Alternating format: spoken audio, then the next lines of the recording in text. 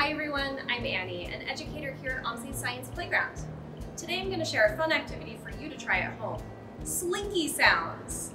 Now adults, as you try this activity with your child, focus in on those science process skills your child is using. Today's activity has opportunities to ask questions, observe, compare, experiment, learn about cause and effect, and communicate. To do slinky sounds, you'll need a slinky, we think metal works best, a plastic cup, and a way to clean your slinky before and after you use it. We'll scrub ours with soap and hot water and allow it to dry out before using. I'm gonna ask you to put the slinky in your mouth, so let's start by washing it first.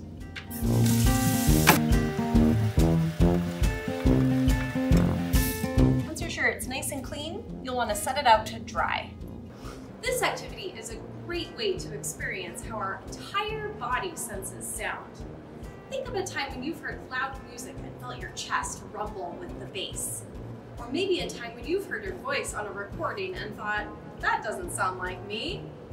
That's because the ways we sense sound are so much more than just our ears.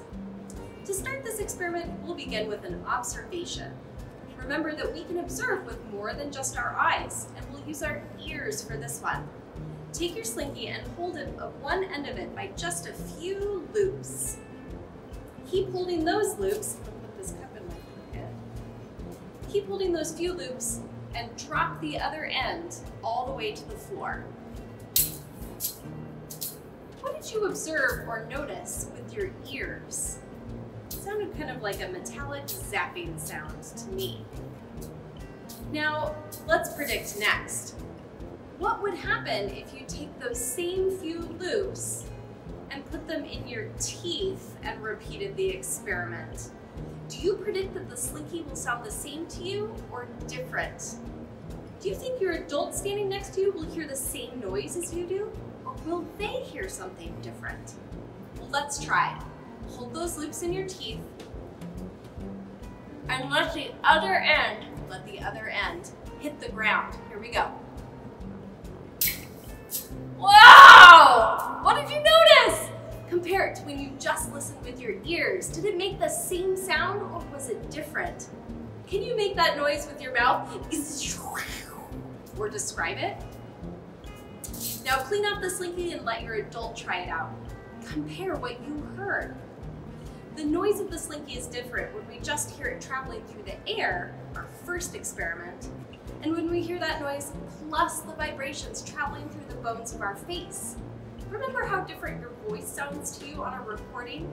That's because you're used to hearing your voice vibrate or move through the bones of your face all the time.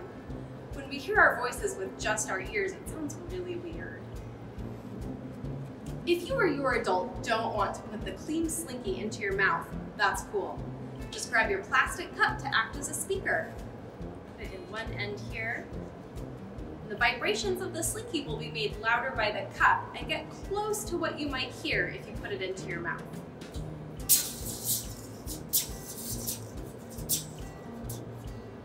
All right, way to go, Slinky scientists. We'd love to hear how this experiment turned out for you. Feel free to share pictures of you trying the Slinky Sounds experiment on our Facebook or Instagram page under this post.